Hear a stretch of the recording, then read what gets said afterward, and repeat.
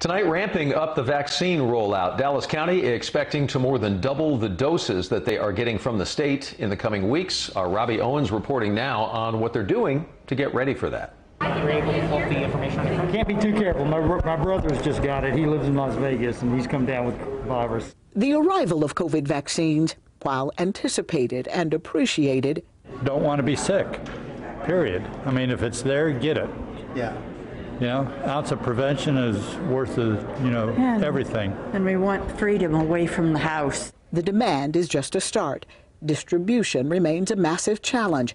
Dallas County now preparing to open three mega vaccination sites as early as next week. Will you be able to get these sites up that quickly?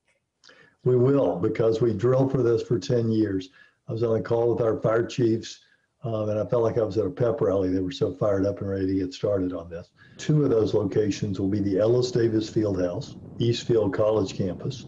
Those will be drive throughs by appointment only. If you show up without an appointment, uh, they'll just turn your car around. A third location will offer walk up service for those who want to be monitored for possible adverse reactions, most likely in the southern sector. We're looking at zip codes where they've been hardest hit with COVID.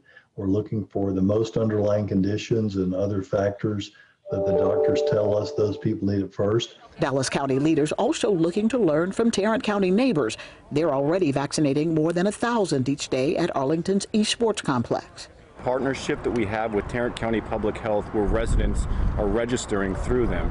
And they provide us with a list of who will be arriving on specific days, and then they, they arrive and get their shots.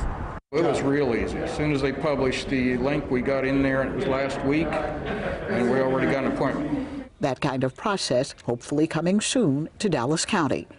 Robbie Owens, CBS 11 News.